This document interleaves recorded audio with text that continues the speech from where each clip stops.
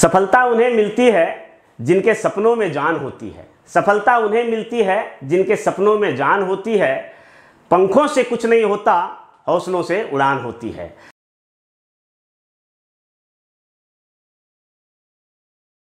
दुष्यंत कुमार के इन्हीं पंक्तियों के साथ स्वागत है आपका career Kanchan civil services academy में। दोस्तों, नमस्कार। मैं आज आपके समक्ष बात करने आया हूँ। कि बीपीएससी की तैयारी कैसे करें? अगर आप ऑफिसर बनना चाहते हैं बीपीएससी की तैयारी करना चाहते हैं तो यह वीडियो आपके लिए बहुत ही महत्वपूर्ण है। इसे अंत तक देखना ना भूलेंगे। इसमें हम बात करेंगे कि क्या है बीपीएससी की एबीसीडी क्या है बीपीएससी तैयारी करने के लिए स्ट्रेटजी?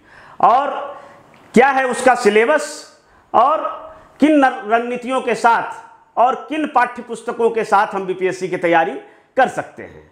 तो आइए एक नज़र हम डालते हैं बीपीएससी पर। बीपीएससी की तैयारी क्या है? बीपीएससी की एबीसीडी तो एबीसीडी अगर बात करें बीपीएससी की तो हमने ऐसे इसको कोडिंग किया है।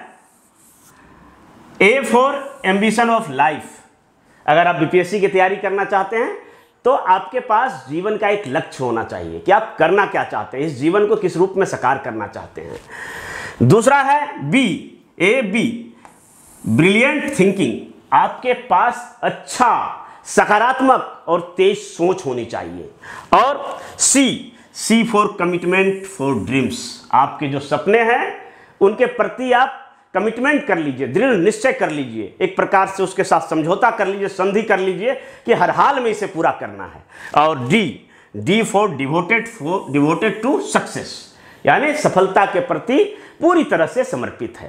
तो इन चार गुणों को विकास करके ये जन्मजात नहीं होता है, इनका विकास करना पड़ता है। इन चार गुणों का विकास करके आप बीपीएससी की सफलतापूर्वक तैयारी करके ऑफिसर बन बन सकते हैं। अब बात करें कि कौन कौन से गुण आपके अंदर होना चाहिए। एक ऑफिसर बनने के लिए बीपीएससी की तैयारी करके, यूपीएससी की तैयारी करके और तमाम सारे जो स्टेट पीसीएस में सिविल सर्विसेज़ में कैरियर बना रहे नवयुवक अगर सोच रहे हैं, बनाने की सोच रहे हैं तो क्या आपके अंदर गुण होना चाहिए? तो इसको हमने नवगुण के रूप में डिफाइन किया है। जिस तरह से अकबर के दरबार में नवरत्न होते थे, भारत सरकार की जो नवरत्न कंपनियाँ हैं, उसी प्रकार आपके अंदर नवगुण होना चाहिए। नवगुण में क्या है? तो सबसे पहले आपके पास सपना होना चाहिए। क्योंकि अगर सपना नहीं होगा तो फिर आप कैसे साकार करेंगे? क्योंकि भारत के राष्ट्रपति डॉक्टर एपीजे अब्दुल कलाम, भारत रत्न, वो भी कहा करते थे कि भारत के नवयुवकों को सपने देखना चाहिए। भारत के नवयुवकों को सपने देखना चाहिए। अगर सपने नहीं होंगे तो नवयुवक किस दिशा में चलेंगे? और इसके लिए कहते थे वे कि सपने वे नहीं होते हैं जिसे हम सोते हुए देखते हैं, बल्कि सपने तो वे हैं जो हमें सोने नहीं देते हैं। तो एक सपना होना चाहिए, एक ड्रीम होना चाहिए, एक लक्ष्य होना चाहिए। तो लक्ष्य के रूप में अगर हम चाहते हैं कि हमें ऑफिसर बनना है और समाज को कुछ देना है, देश और देश, दुनिया और समाज के लिए कुछ हमें करना है तो ऑफिसर बन के आप अपने कैरियर को इस उच्च आयाम दे सकते हैं कि आपके पास सब कुछ करने का मौका रहेगा। तमाम सारे भारत के नवयुवक सिविल सर्विसेज़ में अपना कैरियर बनाना चाहते हैं। कैरियर, ये आसमान छूती जो कैरियर है, सिविल सेवा में कैरियर जो आसमान छूती कैरियर है तो इसको बनाने के लिए हर नवयुवक का एक सपना होता है। आइए अगर उस उस प्रकार की सपना है तो देखते हैं कि आपके अंदर और भी कौन से कौन गुण होंगे। तो दूसरा है दृढ़ निश्चय। आपके अंदर एक दृढ़ निश्चय होना चाहिए, एक प्रतिज्ञा होना चाहिए। कि अगर आपने किसी कार्य को ठान लिया है तो उसे हर हाल में करना है। चाहे कितना भी मुसीबत आए चाहे कितना भी तकलीफ़ आए, चाहे कितना भी रोड़ा आए, लेकिन हमें उस कार्य को अवश्य करना है। मज़बूत इच्छा शक्ति, और इसके लिए हमारे पास मज़बूत इच्छा शक्ति होनी चाहिए, क्योंकि अगर आपके पास मज़बूत इच्छा शक्ति नहीं होगी तो शुरुआती जो अड़चन है, शुरुआती जो बाधाएँ हैं, उसी को आप पार नहीं कर पाएँगे। और हथियार डाल देंगे। तो इसलिए एक मज़बूत इच्छा शक्ति का होना चाहिए, मज़बूत इरादा का होना चाहिए। और सच्ची लगन, अगर आपके पास मज़बूत इरादा है तो आप जो तैयारी करने के लिए सोच रहे हैं, ऑफिसर बनने के लिए सोच रहे हैं, और उसके लिए जो आपको पढ़ाई करना पड़ेगा, जो मेहनत करना पड़ेगा, उसके लिए सच्ची लगन मतलब दिल से इंटरेस्ट होना चाहिए। ये नहीं लग, लगना चाहिए कि जैसे बचपन में हम लोग किसी पढ़ते थे तो टीचर के डर से या माता पिता के डर से पढ़ते थे, ताकि जो है, हम पढ़ें तो उनसे डांट खाने से या मार खाने से बच जाए। तो उस प्रकार नहीं, बल्कि जो अपने हृदय से, अपने ऑन इंटरेस्ट से तैयारी करना शुरू करना पड़ेगा। कठिन परिश्रम। और इसके लिए आपको कठिन परिश्रम करने के लिए भी तैयार रहना पड़ेगा, क्योंकि कठिन परिश्रम का कोई विकल्प नहीं है। अगर सिविल सर्विसेज़ में करियर बनाना चाहते हैं ऑफिसर बनना चाहते हैं तो आपको कठिन परिश्रम करना पड़ेगा और परिश्रम का कोई भी विकल्प नहीं है। सही दिशा। और कठिन परिश्रम अगर करेंगे तो उसके लिए सही दिशा होना चाहिए। सही दिशा का मतलब यह है कि अगर हम यहाँ से दिल्ली जाना चाहते हैं तो दिल्ली जाने के लिए भी एक प्रॉपर वे है। गेट से निकलेंगे स्टेशन जाएँगे या हवाई अड्डा अड्डा पे जाएँगे एयरपोर्ट पे जाएँगे, वहाँ से उस रास्ते से हम पहुँच सकते हैं। अगर हम प्रॉपर वे सही दिशा का अनुसरण नहीं करते हैं तो फिर दिल्ली दूर ही रहेगा। तो सही दिशा होना चाहिए। और सबसे बड़ी बात है कि उसके लिए धैर्य होना चाहिए पेशेंस यह बहुत ज़रूरी है। कभी कभी क्या होता है कि सारा सब कुछ ठीक है, आपने मेहनत भी अच्छा किया, पढ़ाई भी बढ़िया किया, मार्गदर्शन भी बढ़िया लिया, परंतु क्या है कि कभी कभी आपके साथ जो इत्तेफाक है, वो इत्तेफाक नहीं होता है, लोग इसको भाग्य बोलते हैं। लेकिन मैं इसे इत्तेफाक बोलता हूँ, इत्तेफाक ने आपका साथ नहीं दिया तो नहीं होता है। इसके इसके लिए आपको लगातार लगे रहना पड़ेगा। और अगर इस बार नहीं हुआ तो अगली बार निश्चित आपका होगा। और उसके बाद आशावादी। ऑप्टिमिस्टिक होना चाहिए, आशावादी होना चाहिए कि निश्चित होगा। क्यों नहीं होगा? मेरा भी होगा, क्योंकि आप भी मानव हैं। और एक कहावत है, a man can do what a man has done. अर्थात, अगर कोई भी कार्य जो एक मनुष्य कर चुका है, दूसरा उसे भी कर सकता है। दूसरा कोई भी उसे कर सकता है। तो हम क्यों नहीं कर सकते हैं? बिल्कुल जो है हमें आशावादी होना चाहिए और आशा के साथ हमें लगना पड़ेगा कि हम भी कर सकते हैं। आई विल डू इट और उसके बाद उचित मार्गदर्शन। ये ज़रूरी है, क्योंकि आप तैयारी करेंगे तो आपके क्या दिशा होंगे, क्या पढ़ना है, क्या नहीं पढ़ना है, क्या चीज़ करना है, किस तरह से पढ़ना है, इसके लिए एक मार्गदर्शन होना चाहिए उचित मार्गदर्शन होना चाहिए क्योंकि मार्गदर्शक की भूमिका हमेशा से रही है और इसीलिए चाहे दुनिया कितना भी विकास कर जाए नई टेक्नोलॉजी का आविष्कार हो जाए परंतु एक गुरु एक मार्गदर्शक की भूमिका हमेशा रहेगी। तो आप आपका एक मार्गदर्शन देने वाला भी होना चाहिए और आपके अंदर यह क्वालिटी होना चाहिए कि हम आ, सही लोगों से जो इस फ़ील्ड में जानकार लोग हैं उनसे हम मार्गदर्शन लें। तो ये नवगुण है इनको हम अपने अंदर विकास कर सकते हैं। कोई भी गुण किसी के अंदर जन्मजात नहीं होता है, बल्कि उसको विकसित करने की ज़रूरत होती है। तो हम विकसित कर सकते हैं, क्योंकि करत करत अभ्यास, जड़मती हो तो सुजान, रसरी आवत जात शिल्पे परत निशान। तो आइए, अब हम देखते हैं बीपीएससी किस चिड़िया का नाम है। अब सवाल उठता है कि अगर आप बीपीएससी के माध्यम से ऑफिसर बनना चाहते हैं, बिहार की सेवा करना चाहते हैं, और बिहार सरकार के अंतर्गत आप एक आकर्षक करियर का चुनाव करना चाहते हैं तो बीपीएससी की तैयारी कैसे करें? तो बीपीएससी की तैयारी करने से पहले हम थोड़ा ओवरव्यू डालना पड़े, डालना चाहेंगे कि बीपीएससी क्या होता है। तो BPSC Bihar public service commission Bihar लोक सेवा आयोग इसको हिंदी में बोलते हैं। और बीपीएससी का गठन एक संवैधानिक प्रावधान के अंतर्गत हुआ था, उन्नीस सौ छप्पन में। और इसका संविधान में प्रावधान है कि केंद्र पर यूपीएससी यानी यूनियन पब्लिक सर्विस कमीशन रहेगा और प्रत्येक राज्य में एक एक स्टेट पब्लिक सर्विस कमीशन रहेगा। मतलब रा, राज्य लोक सेवा आयोग रहेगा। तो उन्हीं में से बिहार का अपना राज्य लोक सेवा आयोग है बीपीएससी। पहले झारखंड और बिहार होने के समय जब एक साथ थे तब बीपीएससी पूरे एकीकृत बिहार के लिए भर्ती लेती थी। और अब जो है बीपीएससी सिर्फ़ बिहार के लिए लेती है क्योंकि झारखंड में JPSC, Jharkhand public service commission नाम का एक अलग संवैधानिक निकाय बन गया है। तो बीपीएससी, और बीपीएससी यूँ तो कई एग्ज़ाम को कंडक्ट कराती है, जिनमें से सिविल सेवा है प्रोफेसर है इंजीनियर है डॉक्टर है, कृषि पदाधिकारी है। तो हम लोग जिसकी बात करेंगे, वह सिविल सेवा है। सिविल सेवा, चाहे यूपीएससी हो या बीपीएससी हो, जो सिविल क्षेत्र में जो सेवा हम करते हैं, जो ऑफिसर बनने का हम लोग उपक्रम करते हैं तो वो उसे सिविल सेवा कहते हैं। तो वास्तव में सिविल सेवा को पहले समझना पड़ेगा कि सिविल सेवा इसे क्यों कहा जाता है। तो जब अंग्रेज़ों का भारत में आगमन हुआ था तो अंग्रेज़ बहुत सारे सैनिक को लेकर आए थे। तो सैनिक तो उनके पास एक मिलिट्री होता था तो मिलिट्री वो सैन्य सेवा के उसमें लोग होते थे। परंतु जैसे जैसे भारत में अंग्रेज़ों की सत्ता स्थापित होती चली गई तो सैन्य के अलावे जो नागरिक प्रशासन है उसके लिए, प्रशासन को भली भांति सुचारू करने के लिए सैन्य से अलग कुछ सिविल सेवा की ज़रूरत पड़ी। तो इस तरह से देखिए, सेवा दो तरह का होता है। एक सैन्य सेवा, मिलिट्री सर्विस, जो कि आर्मी नेवी और एयरफोर्स के होते हैं वो, और असैन्य सेवा। तो असैन्य सेवा ही सिविल सेवा कहलाया और तब से इसे हम सिविल सेवा के रूप में जानते हैं। अब इसकी भर्ती कैसे होती है देश में?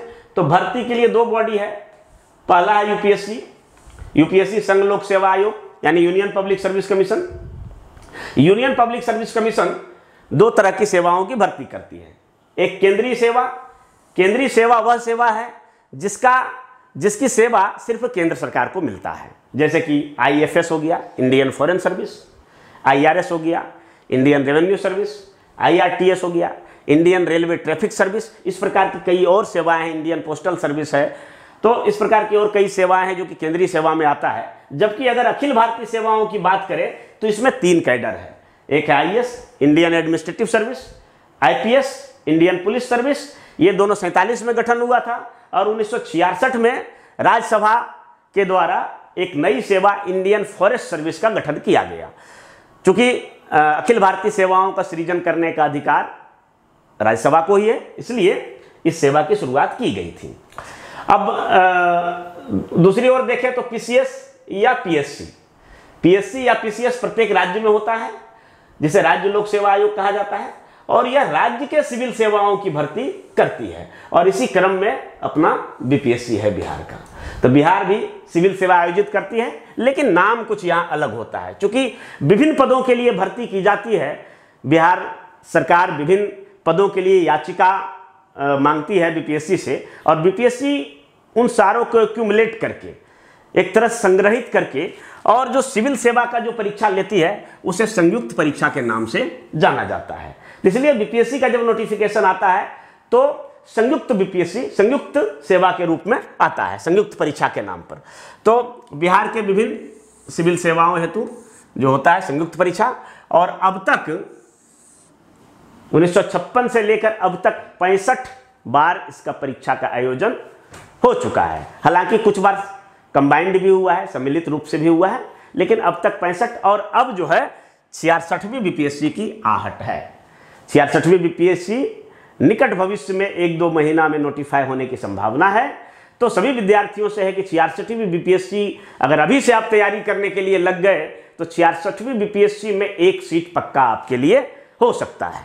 तो संयुक्त परीक्षा जो होता है, इसमें अगर पदों को देखें तो deputy collector, DSP DSP, deputy superintendent of police, CTO या असिस्ट असिस्टेंट कमिश्नर, ये बिहार वाणिज्य सेवा में होता है, सब रजिस्ट्रार नगर कार्यपालक पदाधिकारी, शिक्षा पदाधिकारी, ग्रामीण विकास पदाधिकारी यानी बीडीओ और राजस्व अधिकारी सीईओ। इस प्रकार से और भी दस बारह सेवाएँ हैं जिनका कि संयुक्त परीक्षा बीपीएससी लेती है।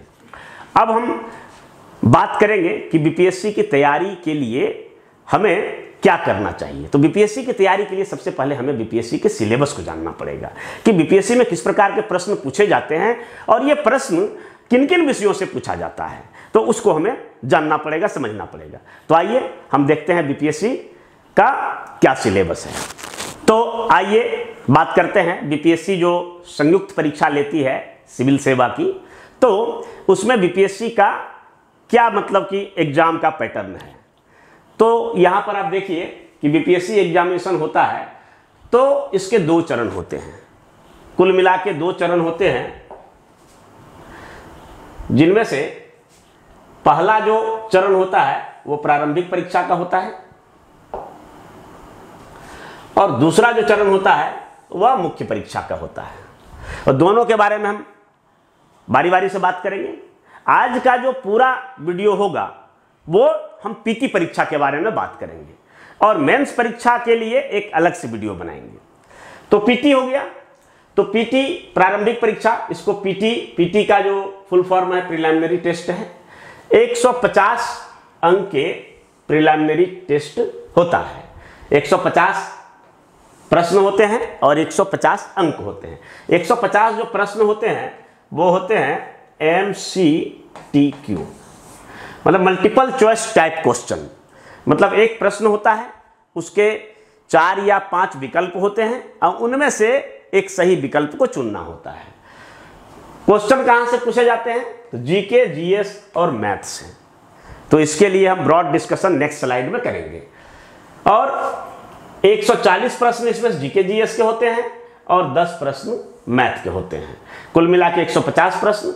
अगर 150 प्रश्न में हम 100 प्रश्न सही सही हल कर लेते हैं, यानी 150 प्रश्न में से अगर 100 प्रश्न मेरा सही हो जाता है तो अगर हम किसी भी कैटेगरी में है, खास करके यू आर अनरिजर्व कैटेगरी में है तो हमारा पीटी क्वालिफाई हो जाएगा। और जब पीटी क्वालिफाई हम कर जाएँगे, तब हम मुख्य परीक्षा देने का, के लिए इंटाइटल हो जाएँगे। यानी कहने का मतलब है कि पीटी जो है, वो सिर्फ़ स्क्रीनिंग टेस्ट है। यानी यह एक प्रकार से जो अगंभीर टाइप के परीक्षार्थी हैं, उनकी छटनी करना इसका लक्ष्य होता है। और गंभीर परीक्षा के लिए गंभीर परीक्षार्थियों को छांट कर उसे मुख्य परीक्षा के लिए प्रमोट करती है। यानी यह स्क्रीनिंग टेस्ट है और यह एक प्रकार का गेट पास भी है। यानी कहने का मतलब है कि इसका नंबर तो जुटेगा नहीं, आगे कैरी फॉरवर्ड नहीं करेगा, सिर्फ़ यहाँ क्वालिफाई कर जाना है। एक तरह से यह जो होता है, यह क्वालिफाइंग नेचर का होता है। क्वालिफाइंग होता है। अगर एक बार पीटी क्वालिफाई कर गए तो पीटी का जो अंक है, चाहे हम 100 नंबर लाए या 120 नंबर ले आए, उसका अंक जो है, वो मुख्य परीक्षा के लिए जोड़े नहीं जाएँगे। मतलब इसकी भूमिका यही समाप्त हो जाती है। परंतु पीटी परीक्षा की भूमिका, इससे हम समझ सकते हैं कि यह एक जस्ट गेट पास का काम करता है। यानी, अगर किसी विद्यार्थी ने पीटी परीक्षा दिया और वो असफल हो गया, तब फिर वो वही ऑब्जेक्टिव परीक्षा देने के लिए फिर तैयारी करेंगे, रेलवे का तैयारी करेंगे, बैंक पीओ का तैयारी करेंगे, या फिर तमाम सारे ऐसे जो वनडे एग्ज़ाम होते हैं, उनकी तैयारी करते हैं। और अगर एक बार पीटी पास कर गए, तब आप मेंस की तैयारी में लगेंगे और आपका जो शागिर्द होंगे, जो आपका आपके दोस्त होंगे, आपके जो गट्स होंगे, वो एलिट क्लास के लोग होंगे। और आपके उन लोगों के साथ उठना बैठना हो जाएगा और इस एक इस एक प्रकार से ऐसा अप्रोच डेवलप होगा कि सिविल सर्विसेज़ का मेंस परीक्षा देने के लिए क्या क्या कुछ किया जाना चाहिए, उस दौर में आप शामिल हो जाएँगे और एक ज्ञान का पूरा जो यूनिवर्सल परस्पेक्ट है, वो आपके पास आएगा और एक तरह से सही मायने में आप जो ओरिजिनल कैंडिडेट होते हैं, वो बन पाएँगे। तो पीटी परीक्षा इस दृष्टिकोण से महत्वपूर्ण है कि इसे पास करना हर हाल में ज़रूरी है। और अगर इसे पास कर गए तो समझ जाइए कि आधी बाधा आपने पार कर लिया। इसलिए पीटी का बहुत ही महत्वपूर्ण है। तो आज हम पीटी पर फोकस करेंगे, परंतु उससे पहले हम मुख्य परीक्षा के सिलेबस को जान लेते हैं। अब ये देखिए मुख्य परीक्षा। कुल मिला के 1120 अंकों का मुख्य परीक्षा होता है। जिनमें से 1020 अंक मेरिट के लिए कैलकुलेट किए जाते हैं। मतलब 100 नंबर जो है, वो मेरिट के लिए कैलकुलेट नहीं किए जाते हैं। वो 100 नंबर कौन सा होगा, आगे हम चर्चा करेंगे। पूरा 1020 नंबर पर मेरिट बनता है। अब मुख्य परीक्षा की बात करें तो इसके भी दो चरण होते हैं। दो चरण है। पहला जो चरण होता है, वो लिखित परीक्षा का होता है, यानी रिटर्न एग्ज़ाम। और दूसरा जो चरण होता है, वो मौखिक परीक्षा, यानी साक्षात्कार या फिर हम इंटरव्यू कर सकते हैं। जो रिटर्न एग्ज़ाम होता है, वो पूरा एक हज़ार अंक का होता है। इनमें से 900 अंक जो है, वो मेरिट के लिए कैलकुलेट किए जाते हैं जबकि इंटरव्यू के लिए 120 नंबर रहते हैं और 120 नंबर में से आ, कितना नंबर ला पाते हैं ये इंटरव्यू में आपका जो प्रदर्शन है उस पर डिपेंड करता है। तो अगर लिखित परीक्षा की बात करें जो कि सबसे ज़्यादा वाइटल है और लिखित परीक्षा पास कर लेने के बाद उम्मीदवार एक तरह से पूरी तरह से श्योर हो जाता है कि हम इस बार ऑफिसर बनेंगे अगर इस बार नहीं बन पाए तो कम से कम अगली बार ज़रूर बन पाएँगे क्योंकि क्योंकि वह एक क्वालिटी होता है। ऑब्जेक्टिव परीक्षाओं का एक अलग प्रकार का टेस्ट होता है, जिसमें हमें अनुमान लगाकर भी हम प्रश्नों का उत्तर दे सकते हैं। परंतु मुख्य परीक्षा में क्या होता है सारा चीज़ आपको लिखना पड़ेगा। अगर आप नहीं जान रहे हैं तो नहीं लिख पाएँगे। इसलिए यहाँ पर जो अध्ययन का जो हमारा स्कोप होता है, वो काफ़ी ब्रॉड हो जाता है। तो लिखित परीक्षा जो है, इसकी अगर बात करें तो इसके चार खंड होते हैं। चार सेक्शन होते हैं, चार पेपर की परीक्षा होती है। तो पहला पेपर होता है हिंदी। 100 नंबर का हिंदी होता है 100 नंबर का हिंदी होता है और जो कि क्वालिफाइंग होता है। यानी ये हिंदी 100 नंबर में से अगर हम 30 नंबर प्राप्त कर लेते हैं, तब हम हिंदी में क्वालिफाई हो जाएँगे और तब हमारा अगला कॉपी जो ये तीन पेपर है G S one G S two और ऑप्शनल इसकी जाँच की जाएगी। अगर हम यहाँ तीस नंबर नहीं ला पाते हैं तो फिर हम डिस्कालीफाई कर जाएँगे। और आगे के तीन पेपर में कितना भी अच्छा क्यों ना प्रदर्शन किए हो, आपकी कॉपी ही नहीं जांची जाएगी। तो तीस नंबर लाना ज़रूरी है। परंतु घबराने की कोई बात नहीं है, जो भी हिंदी भाषी छात्र हैं, या अगर हिंदी भाषी छात्र नहीं भी हैं, बिहार के हैं, जिसका मदर टंग हिंदी है तो आराम से तीस नंबर ला सकते हैं। अब यहाँ अगर तीस नंबर से ज़्यादा भी ले आते हैं, साठ नंबर ले आते हैं, अस्सी नंबर ले आते हैं, फिर भी तीस नंबर जो आपका क्वालिफाई है, बस वही तीस नंबर रहेगा। कितना भी नंबर ले आए, इधर का नंबर इधर कैरी फॉरवर्ड नहीं होगा। यानी कहने का मतलब है कि हिंदी में कितना भी नंबर ले आए, वो मेरिट के लिए नहीं जोड़ा जाएगा। अगले पेपर की बात करें तो ये जी एस वन है। जी एस वन तीन सौ नंबर के होते हैं जी एस टू तीन सौ नंबर के होते हैं। और एक ऑप्शनल पेपर का चुनाव करना होता है, जो कि बीपीएससी का नोटिफिकेशन निकलने के साथ जो पीटी का फॉर्म भरते हैं, उसी समय चुनाव कर लेना पड़ता है।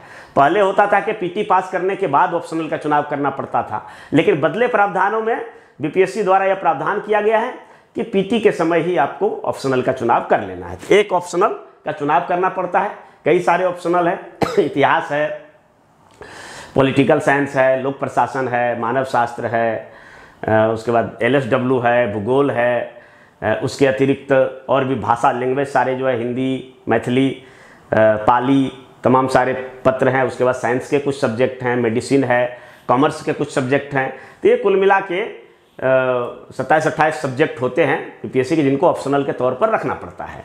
और जीएस जो है जीएस वन तो जीएस वन में जो पहला जो जीएस पेपर फ़र्स्ट होता है, उसके तीन सेगमेंट होते हैं। पहला सेगमेंट में हिस्ट्री, आर्ट एंड कल्चर पूछा जाता है, दूसरे सेगमेंट में करेंट अफेयर्स और तीसरे सेगमेंट में स्टैटिक्स। उसी प्रकार, अगर दूसरे जीएस की बात करें, जीएस पेपर टू का तो उसमें पहला सेगमेंट में, इसमें भी तीन सेगमेंट होता है। पहला सेगमेंट में इंडियन पॉलिटी सिस्टम, दूसरे सेगमेंट में ज्योग्राफी और इकोनॉमिक्स, और तीसरे सेगमेंट में विज्ञान एवं प्रौद्योगिकी, यानी साइंस एंड टेक्नोलॉजी तो ये पूछा जाता है। इसके बारे में हम दूसरे वीडियो में जब हम बनाएँगे कि मेंस की तैयारी कैसे करें, तब विस्तार से डिस्कस करेंगे। तो अभी जान जाइए। और ये इंटरव्यू के लिए जो मौखिक जाँच होता है, इसकी भी तैयारी हमारे यहाँ कराया जाता है। तो कुल मिला के 900 नंबर इधर से और 120 नंबर इंटरव्यू का। यानी 1020 नंबर पर कुल मेरिट बनता है।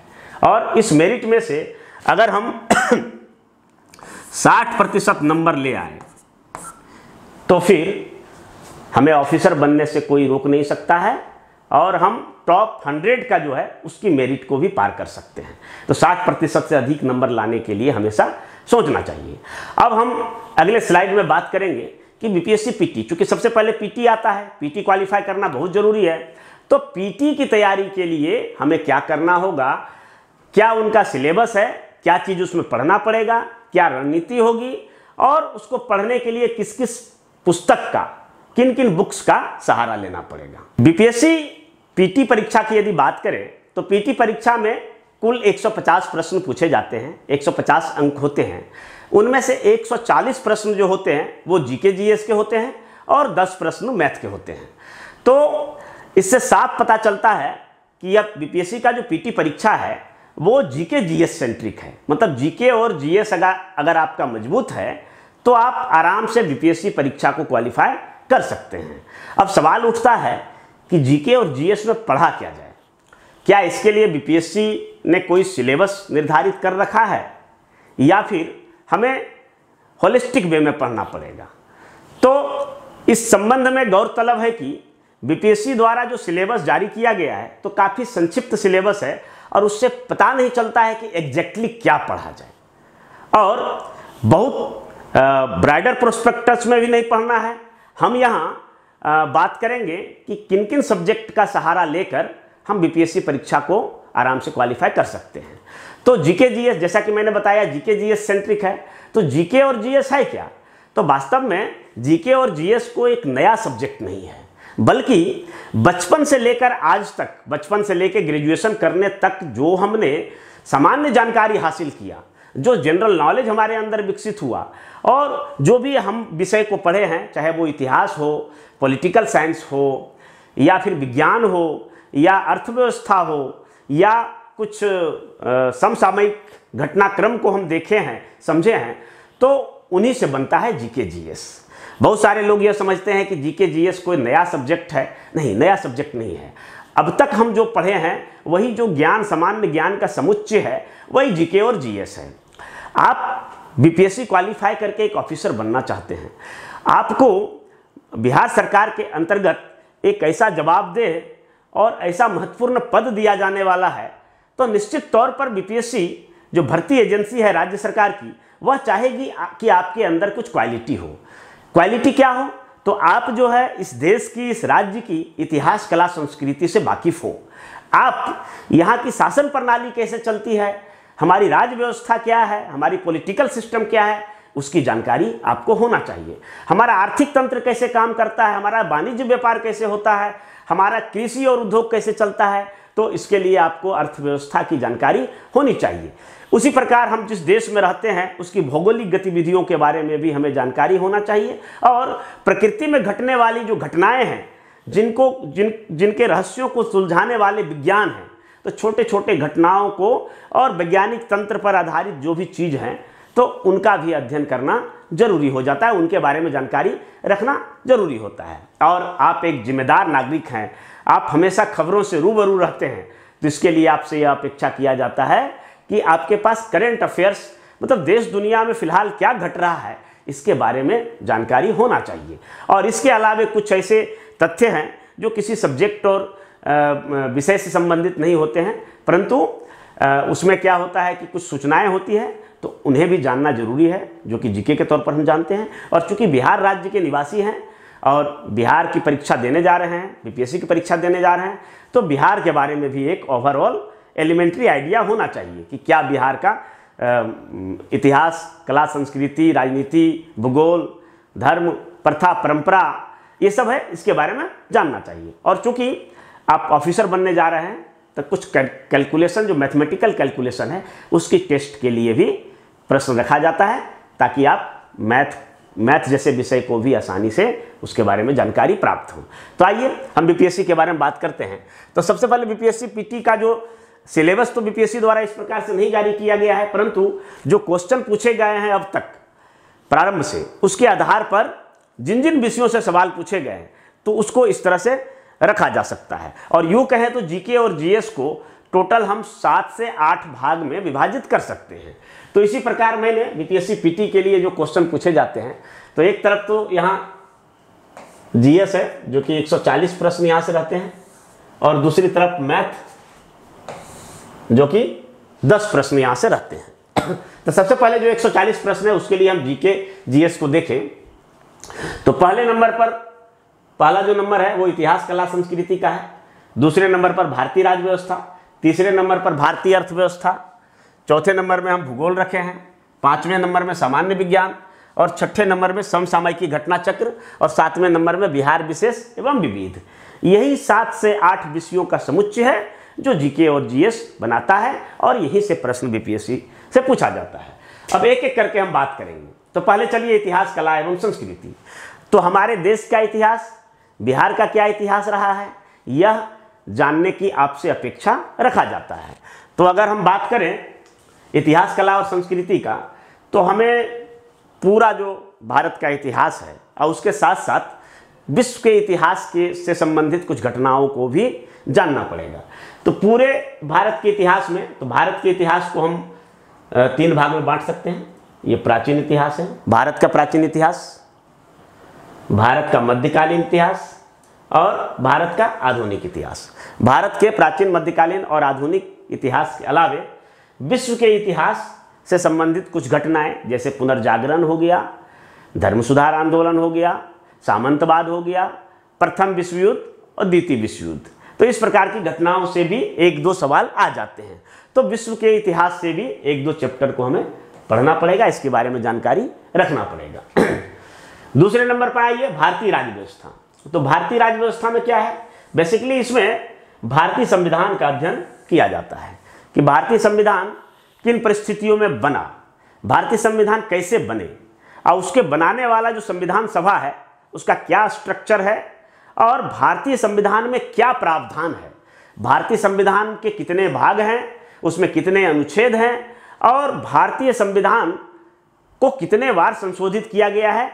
और जितना संशोधन हुआ है, उसके बारे में जानकारी से संबंधित प्रश्न पूछे जाते हैं। तो भारतीय राज्य व्यवस्था, इसकी आसानी से तैयारी किया जा सकता है। बहुत बड़ा सब्जेक्ट नहीं है। इसमें बेसिकली भारतीय संविधान को पूछा जाता है। उसके बाद भारतीय अर्थव्यवस्था है। तो भारतीय अर्थव्यवस्था, जो इंडियन इकोनॉमी है इसमें भी कुछ बेसिक प्रश्न के साथ साथ जो करेंट से रिलेटेड क्वेश्चन होता है, वहाँ से पूछा जाता है। तो इकोनॉमिक्स की जो सामान्य जानकारी है, जो बेसिक इकोनॉमिक्स है, ये तो हमें रहना ही चाहिए कि भाई आर्थिक क्रिया कैसे कहते हैं, अनार्थिक क्रिया कैसे कहते हैं अर्थव्यवस्था के क्या क्या उपांग है, उत्पादन, वितरण, खपत से संबंधित जो जानकारी है, वह होना चाहिए। और कुछ आर्थिक शब्दावली जैसे बैंक से संबंधित है, उद्योग जगत में कुछ कुछ ऐसे टर्म प्रयोग होते हैं जो आमतौर पर दूसरी जगह नहीं होते हैं। उनके बारे में हमें जानकारी रखना पड़ेगा। और उसके बाद करेंट अफेयर्स करेंट अफेयर्स जो कि अर्थव्यवस्था से संबंधित करेंट इशूज हैं, उसको भी जानकारी हमें रखना पड़ेगा। चौथे नंबर पर आइए भूगोल। तो भूगोल में क्या है कि भूगोल से भी प्रश्न, अच्छे खासे प्रश्न रहते हैं और भूगोल की भी जानकारी विद्यार्थियों को काफ़ी गहराई से होना चाहिए। अब भूगोल की बात करें तो इसमें तीन प्रकार के भूगोल आते हैं। एक तो विश्व का भूगोल आता है। दूसरा भारत का भूगोल है। और तीसरा, चूँकि बिहार का एग्ज़ाम दे रहे हैं तो बिहार का भूगोल से संबंधित भी जानकारी रखना चाहिए। और चौथा, अगर आप भूगोल को बढ़िया से पढ़ना चाहते हैं, उनके प्रश्नों का जवाब अच्छी ढंग से देना चाहते हैं तो आपको किसी एटलस का भी जानकारी होना चाहिए। मतलब जो देश विदेश के मानचित्र है, उस पर पैनी नज़र होनी चाहिए और पूरे देश विदेश के जो मानचित्र हैं, उनकी समझ होनी चाहिए। इसलिए मानचित्र अध्ययन भी इसमें काफ़ी ज़रूरी हो जाता है और मानचित्र अध्ययन के बिना हम भूगोल के प्रश्नों को सहजता से उत्तर नहीं दे सकते हैं। इसलिए मानचित्र अध्ययन भी ज़रूरी होता है, इसके लिए एक एटलस भी होना चाहिए। अब बात करते हैं सामान्य विज्ञान की। और सामान्य विज्ञान में भी अच्छे खासे प्रश्न रहते हैं भूगोल और विज्ञान लगभग बराबर पंद्रह से बीस करके सवाल रहते हैं। तो अगर विज्ञान को देखें तो इसको दो भाग में बांटा जा सकता है। एक तो हो गया फ़िज़िकल साइंस और दूसरा हो गया बायोलॉजिकल साइंस। फ़िज़िकल साइंस, जिसमें मुख्यतः फिजिक्स और केमिस्ट्री, यानी भौतिकी और रसायन से प्रश्न होते हैं, और बायोलॉजिकल साइंस, जिसमें कि बायोलॉजी या फिर बोटनी जूलॉजी कह सकते हैं वहाँ से प्रश्न होते हैं। और दोनों से लगभग अगर प्रश्नों की संख्या माने तो आधी आधी। अगर 20 प्रश्न पूछा गया तो 10 प्रश्न फ़िज़िकल साइंस से रहेंगे और 10 प्रश्न बायोलॉजिकल साइंस रहेंगे। यहाँ पर बायोलॉजिकल साइंस इसलिए वाइटल भी हो जाता है। इसके अतिरिक्त हम देखें तो कुछ और इसमें टॉपिक आ जाते हैं, जैसे इन्वायरमेंट जो पर्यावरण है। पर्यावरण से सवाल रहते हैं, पर्यावरण एवं पारिस्थितिकी से सवाल रहते हैं, और फिर विज्ञान एवं प्रौद्योगिकी से भी सवाल रहते हैं।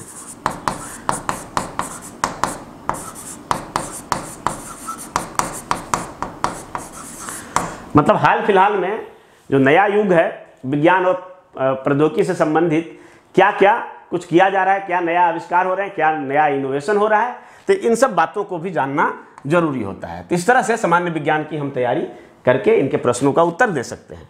इसके बाद आइए समसामयिक घटना चक्र करेंट अफेयर्स तो करेंट अफेयर्स की जानकारी होनी चाहिए। और करेंट अफेयर्स की जानकारी के लिए हम क्या करें? तो करेंट अफेयर्स की जानकारी के लिए यह ज़रूरी है कि रोज़ाना हम करेंट अफेयर से रूबरू रहें। ऐसा नहीं कि हम जब एग्ज़ाम आए तब फिर करंट की किताब में खोज रहे हैं, रट रहे हैं। तो यह तरीका क्या होता है कि मनुष्य का चूँकि जो मस्तिष्क होता है वोलाटाइल नेचर का होता है। एक साथ हम कई सूचनाओं को यदि रिसीव कर लिए तो वो हमारे दिमाग में स्टोर बढ़िया से नहीं रह पाता है और वह याद नहीं रहता है। इसलिए घटनाओं के साथ हम रहें। घटनाओं से हमेशा रूबरू रहें।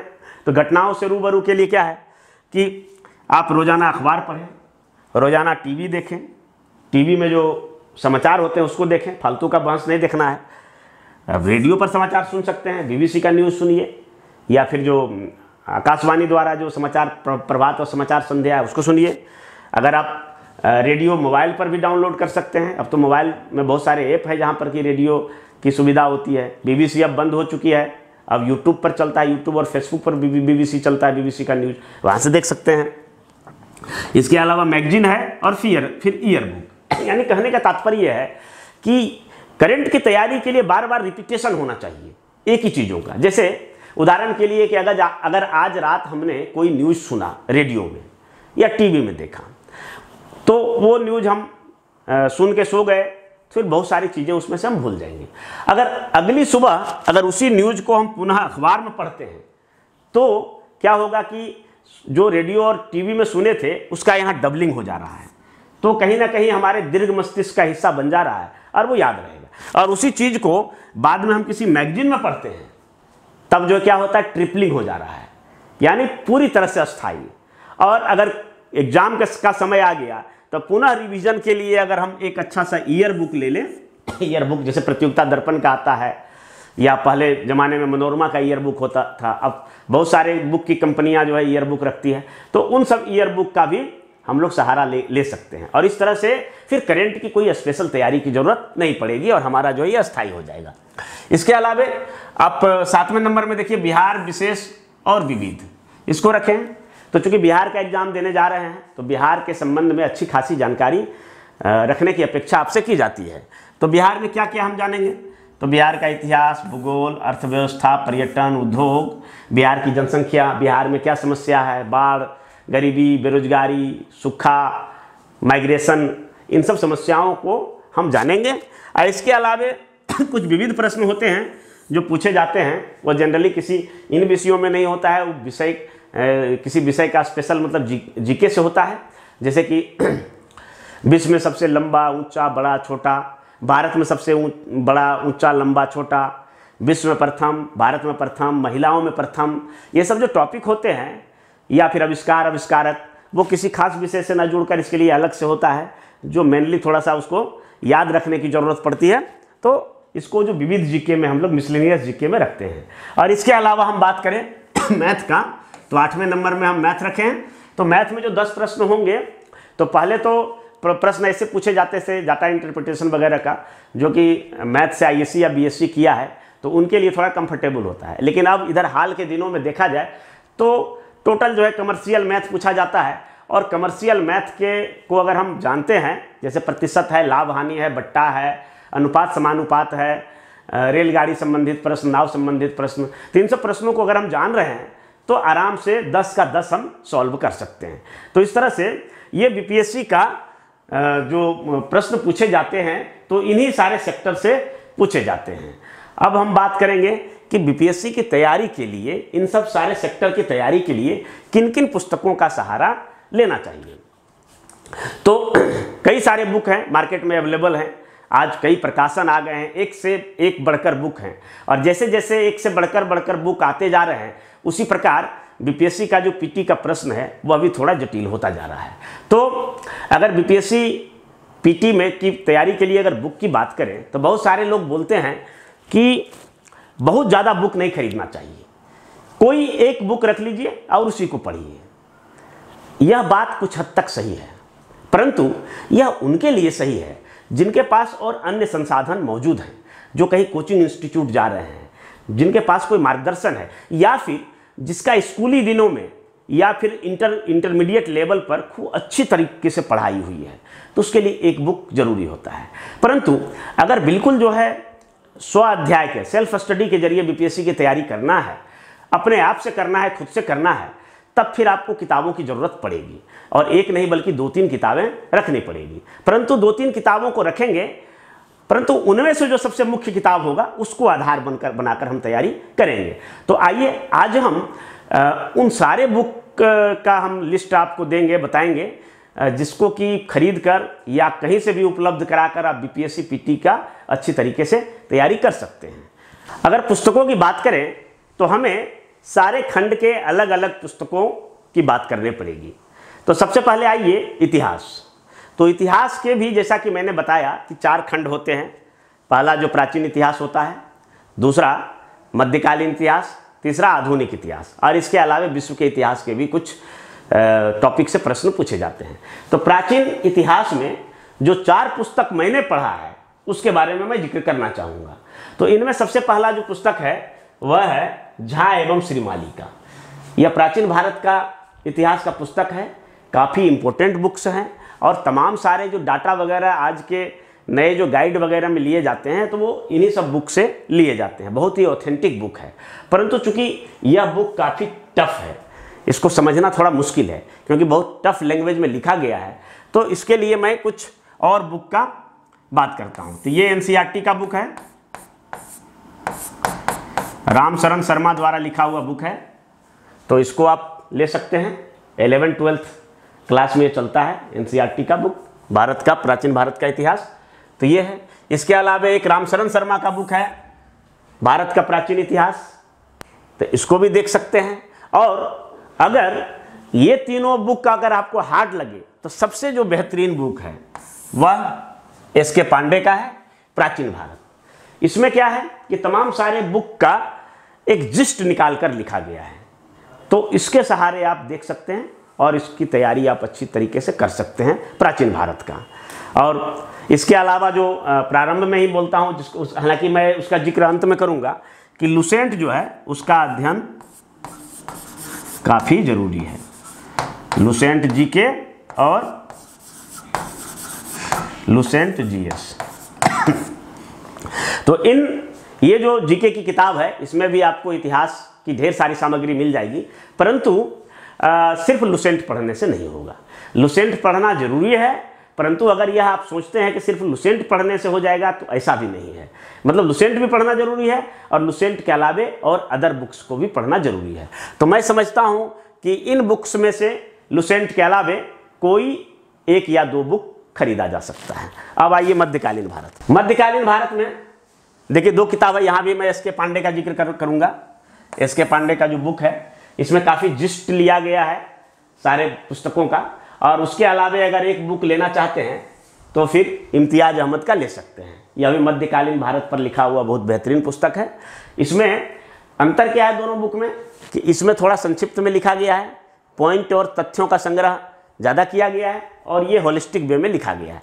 इसके अतिरिक्त एक एन e का है, यहाँ फ़ोटो उपलब्ध नहीं है, परंतु एन e का जो बुक है, मध्यकालीन भारत का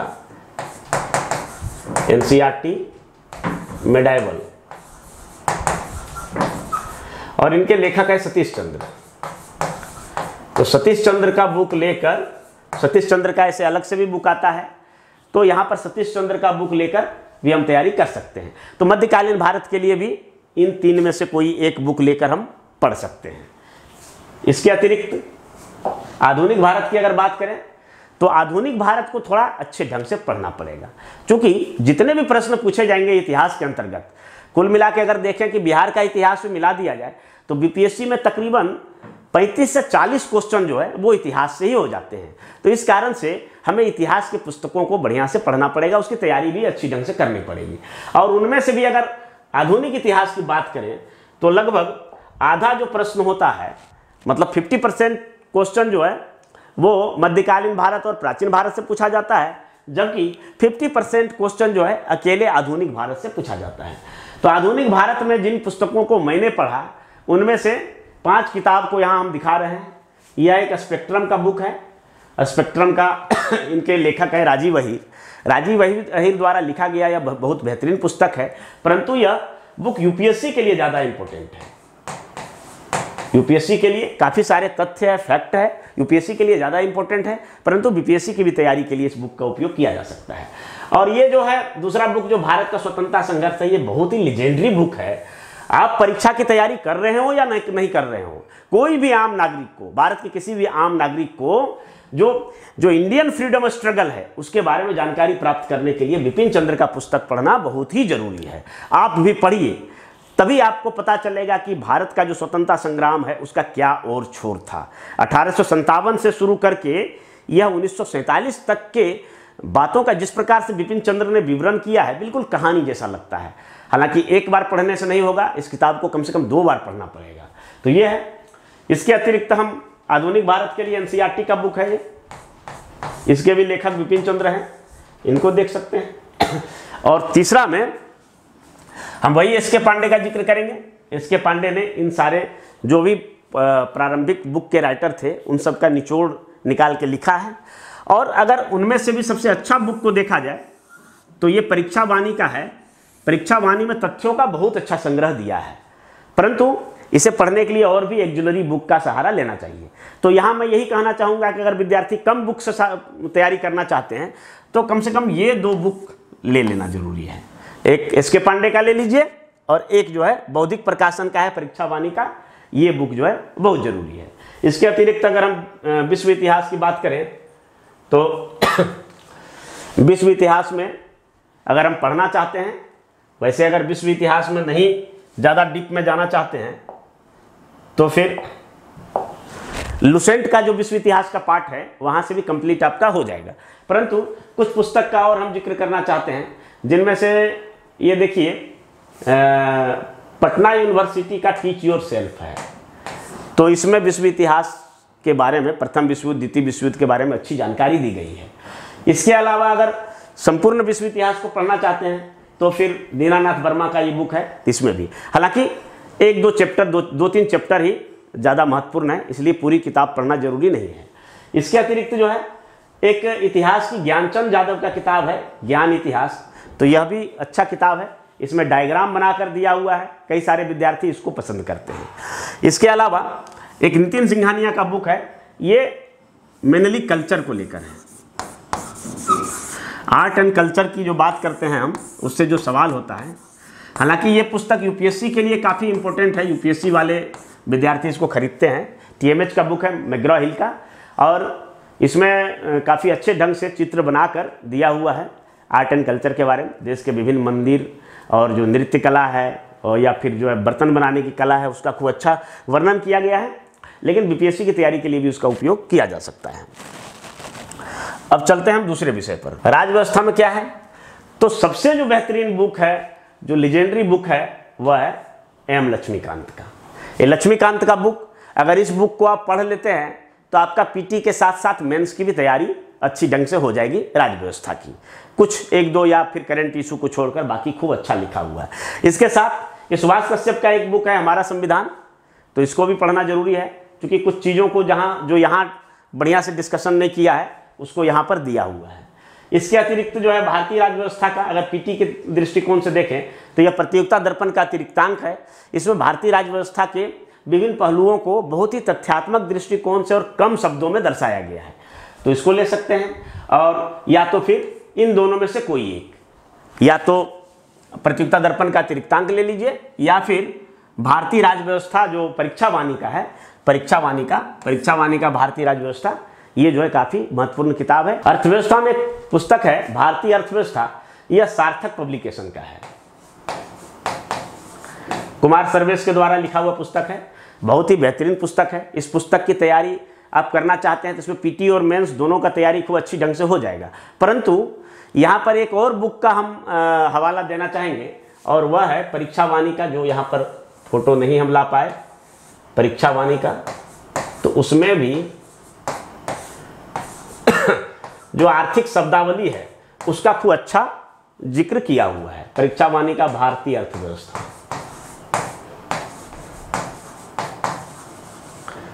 इस पुस्तक को हम खूब भली भांति तरीके से पढ़कर और जान सकते हैं। और इसके अतिरिक्त जो भी करेंट जो समसामयिक आर्थिक घटना चक्र है, उसका अध्ययन जो है वो काफ़ी ज़रूरी हो जाता है।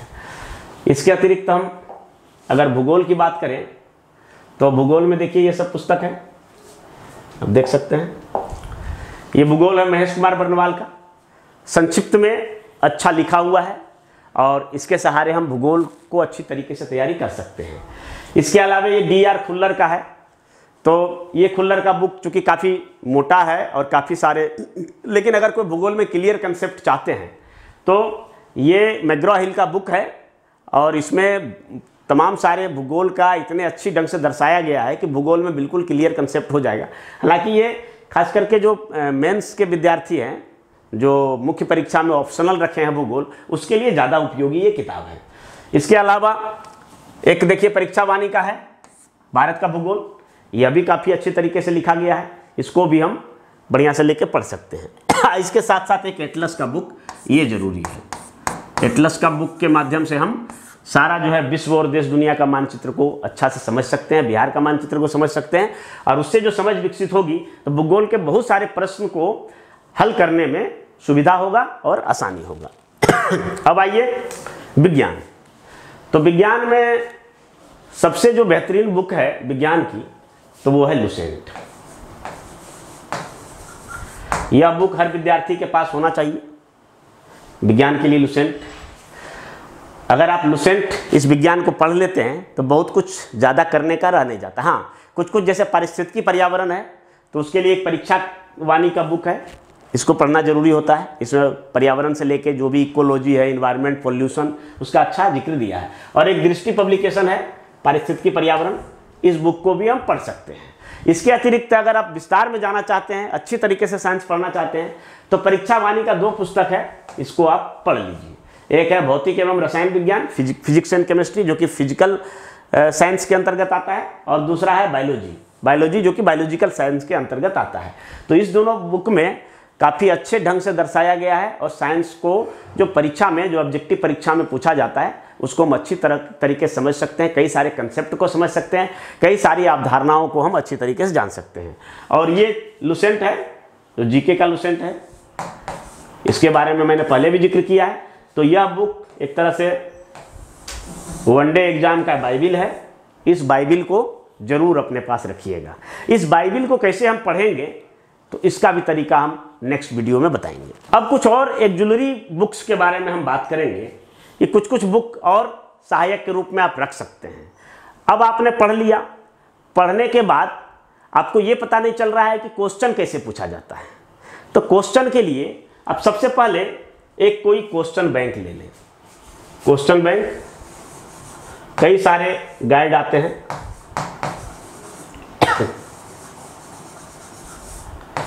स्पार्क पब्लिकेशन का आता है संदर्भ पब्लिकेशन का आता है, और फिर रुक्मिनी सीरीज़ भी निकालने लगी है। तो ये क्वेश्चन बैंक से क्या होगा कि तमाम जो बीपीएससी और बीएसएससी द्वारा पूछे गए क्वेश्चन है, उसकी प्रकृति से हम वाकिफ हो जाएँगे, जो अब तक पूछा गया है। और उस प्रश्नों का यदि हमें पूरा स्पष्टीकरण के साथ, पूरा जो है डिस्कशन के साथ अगर हल चाहिए तो हल के लिए आप ये घटना चक्र का जो बुक है, उसको ले सकते हैं। घटना चक्र के कुछ बुक को हम यहाँ पर दिखाए हैं। जैसे ये देखिए, भारतीय इतिहास का बुक है, ये सामान्य विज्ञान का बुक है, ये सामान्य भूगोल का बुक है। इसी तरह से हर विषय का बुक जो है, इसमें ऑब्जेक्टिव क्वेश्चन का का जो डिस्कशन है, जो इसका डिस्क्रिप्शन है क्वेश्चन का, उसके साथ बहुत अच्छे ढंग से लिखा गया है। किसी क्वेश्चन का आंसर जो है, ये क्यों होगा? अगर मान लिया कि जो, कोई क्वेश्चन है उसमें से उसका आंसर बी क्यों होगा? तो उस तथ्य के बारे में अच्छी ढंग से दर्शाया गया है। और ए बी सी क्यों नहीं होगा? जिसके बारे में भी दर्शाया गया है। तो ये बुक बहुत अच्छा है।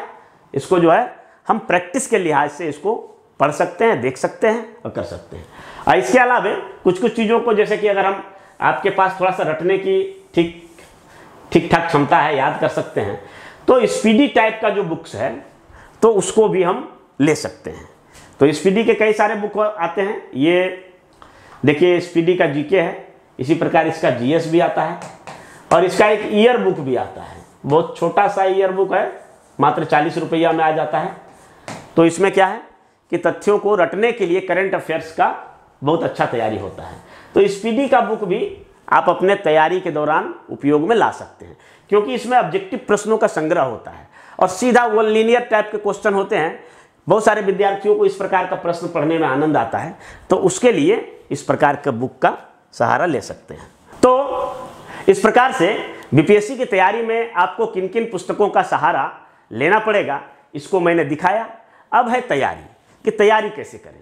तो तैयारी के लिए सबसे जो ज़रूरी है, वह यह है कि अगर आपने ठान लिया कि मुझे बीपीएससी करना है, और आप बिल्कुल जो है न्यू कमर्स विद्यार्थी हैं तो इसके लिए आपको कम से कम दो साल का समय लग जाएगा। दो साल के लिए आप तैयार हो जाइए, मेहनत करने के लिए, सही दिशा में प्रयास करने के लिए, धीरज के साथ, धैर्य के साथ और लगातार जो है सफलता को अचीव करने के लिए। तो इसमें क्या है कि अगर आप लग गए तो सबसे बड़ी जो बात है, वह है निरंतरता, कि आपके पास निरंतरता होनी चाहिए। अगर ऐसा नहीं है कि आज इस वीडियो को सुने और काफ़ी प्रभावित हो गए और एक ही दिन में जो है सोलह घंटा, अठारह घंटा पढ़ लिए। अगले दिन आप थक गए, नहीं पढ़े। फिर चार पाँच दिन नहीं पढ़े। तो इस प्रकार से सफलता नहीं मिलती है। सफलता के लिए है कि अगर आप दो घंटा भी पढ़ते हैं तो रोज पढ़िए। दो घंटा भी पढ़ते हैं, रोज पढ़िए, निरंतर पढ़िए। वैसे अगर सबका अपना अपना होता है विद्यार्थी के ऊपर डिपेंड करता है। कोई विद्यार्थी बहुत कम पढ़कर भी अच्छा समझ लेते हैं और किसी को उसी चीज़ को समझने के लिए ज़्यादा पढ़ना पड़ता है, ये आप पर डिपेंड करता है। लेकिन सामान्य तौर पर अगर देखें कि एक सामान्य विद्यार्थी अपने और अतिरिक्त कार्यों को करते हुए कितना पढ़ना चाहिए तो उसके लिए समय है कि कम से कम आठ से दस घंटा पढ़ना चाहिए। और आठ से दस घंटा पढ़ने के लिए क्या है कि आप एक रूटीन बना लीजिए। यह रूटीन ढीला ढाला होना चाहिए और ताकि उसका फॉलो किया जा सके और जिसमें से आठ से दस घंटा आपका सेल्फ स्टडी के लिए निकल रहा हो। और उस रूटीन को आप अक्षरशः तो नहीं, लेकिन कम से कम उसका 80-90 परसेंट फॉलो करने की कोशिश कीजिए। और देखिए कि आपकी तैयारी मतलब 15 से 20 दिनों में आप अपने अंदर फ़र्क महसूस करने लगेंगे, आप प्रश्नों के जवाब देने लगेंगे, और अपनी क्षमता को बढ़ाने के लिए आप क्यूज कंपटीशन में भाग ले सकते हैं। आप जो है साथियों के साथ डिस्कशन भी कर सकते हैं, यह सब भी ज़रूरी है। और उसके बाद जो है आप टेस्ट सीरीज़ में भी भाग ले सकते हैं। टेस्ट सीरीज़ भी दो प्रकार के होते हैं। एक तो है कि जो भी क्वेश्चन बैंक लिए हैं, उसको खुद से बनाइए घर में बैठकर। और दूसरा होता है कि आप जो है, कहीं अगर टेस्ट सीरीज़ का आयोजन हो रहा है तो वहाँ जाकर भी आप टेस्ट सीरीज़ दे सकते हैं और अपना जो है क्षमता और अपना आकलन स्वयं कर सकते हैं कि हमें, हम कितना पानी में हैं और हमें और क्या करने की ज़रूरत है। तो इसमें क्या है कि आप निरंतरता को बनाए रखिए और आशावादी रहिए, अपने आप पर भरोसा रखिए वह दिन दूर नहीं है। जब आप बीपीएससी का पीटी आराम से क्वालिफाई कर जाएँगे, उसके बाद मेंस भी आराम से क्वालिफाई कर जाएँगे। इंटरव्यू में आपके अच्छे नंबर प्राप्त होंगे और आप, वह दिन दूर नहीं है। जब एक एक से दो साल में आप ऑफिसर बनकर समाज के सामने हाजिर हो जाएँगे। तो इसी के साथ मैं यही समाप्त करता हूँ। आपकी आपकी सफलता की शुभकामना के साथ और अगले वीडियो में मैं मेंस परीक्षा के बारे में विस्तृत रूप से बताऊँगा। धन्यवाद।